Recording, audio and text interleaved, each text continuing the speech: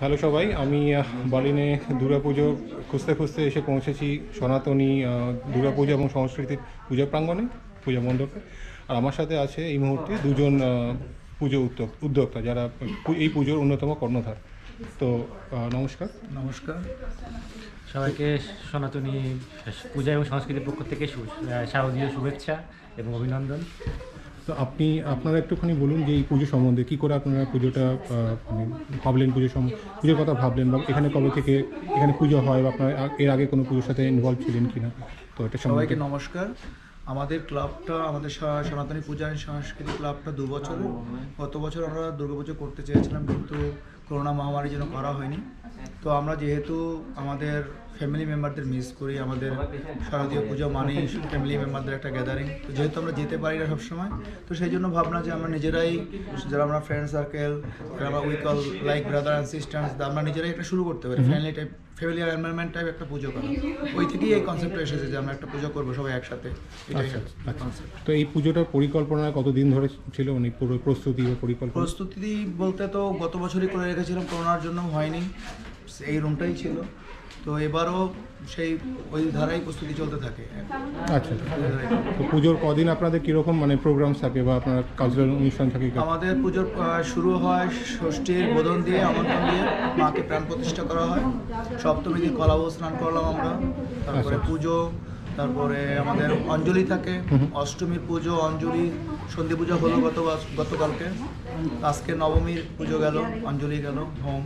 আচ্ছা তো আমাদের কালচারাল প্রোগ্রাম আমরা করি পাশাপাশি কিন্তু আমাদের মেইন কনসেন্ট্রেশন হলো আমাদের মেইন কনসেন্ট্রেশন আমরা যে পুজোটাকে কীভাবে ভালোভাবে করা যায় বিধি নিয়ম মেনে পঞ্জিকা অনুযায়ী পুজোটা করা যায় আমাদের কনসেন্ট্রেশন টোটালটা ওইটাই থাকে। দেন কালচারাল প্রোগ্রাম তো একটু হলে ভালোই লাগে সবাই আচ্ছা, আমরা নিশ্চয়ই। দুই বাংলার একটা নিজেরা নিজেরাই কালচারাল প্রোগ্রাম করি সবাই নিজেদের ঘরের ফ্যামিলির মতন এই পুজোটা হচ্ছে। তো আমরা যারা আছি তাদের মধ্যেই আমরা অর্গানাইজ করি যারা গান জানে যারা যেটা জানে সেভাবে এছাড়াও আরও অনেকে অনেকে আছে যারা আমাদেরকে সাপোর্ট করতে চান যেমন ইস্কন এসে কতদিন ধরে কীর্তন করে গেছেন। আমাদের খুব ভালো ভালো লেগেছে ব্যাপারটা। তো এই সবাই মিলে আমরা এই পুরো ব্যাপারটাই যে মানে কলকাতা থেকে এত দূরে এই পুরো জিনিসটাকে বা পশ্চিমবঙ্গ থেকে এত দূরে একটা একটা পুজোকে এখানে মানে প্রতিষ্ঠা করা এটা এটা আপনাদের কাছে কতটা চ্যালেঞ্জিং মনে হচ্ছিল?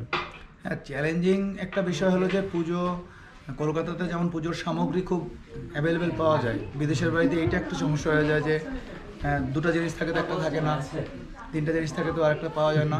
তারপরেও আমরা মোটামুটি ম্যানেজ করে নিয়েছি সব কিছুই এখান থেকেই কিছুটা আর কলকাতা থেকে এনেছি হয়ে গেছে মায়ের কৃপায় হয়ে গেছে। যেহেতু আমরা অনেকে মিলে করছি বিভিন্ন সময় আমাদের অনেক দিনের প্ল্যান তো আমরা বিভিন্ন সময় আমাদের লক্ষ্য থাকে যে কখন কোন জিনিসটা আমাদের লাগতে পারে। আচ্ছা। তো যখনই কেউ দেশ থেকে আসে আমরা ট্রাই করে যদি কিছু নিয়ে আসতে পারি।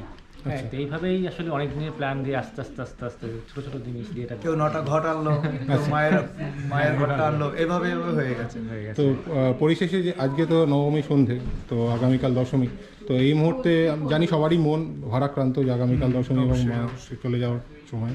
তো আপনাদের এই মুহূর্তে যারা দেখছে এই মুহূর্তে এই ভিডিওটা তো তাদেরকে কি বার্তা দিতে চান? আমাদের বার্তা এটাই যে মায়ের মায়ের কৃপায় আমাদের যে মহামারীর যে সমস্যাটা হচ্ছে মা আমাদের সবার দুঃখ, কষ্ট সব মা নিয়ে যাবেন সাথে করে। আর আমরা আসছে বছর মাকে, মায়ের মায়ের কৃপায় আবার আমরা পুজো করব। আবার আমরা একটা বছর মায়ের জন্য ওয়েট অপেক্ষা করব। তো সবাইকে আমাদের পাশে থাকার জন্য আবারও শুভেচ্ছা অভিনন্দন। আবার আমাদের জন্য আশীর্বাদ করবেন যেন আমরা প্রতি বছর পুজোটাকে ভালোভাবে করতে পারি। নমস্কার। আপনাদের সাথে কথা বলে অত্যন্ত ভালো লাগল এবং এই বিদেশের মাটিতে বাঙালি আনাকে বাঁচিয়ে রাখার জন্য অজস্র ধন্যবাদ এবং আপনাদের আগামীর জন্য অজস্র শুভেচ্ছা ধন্যবাদ। নমস্কার। ধন্যবাদ নমস্কার।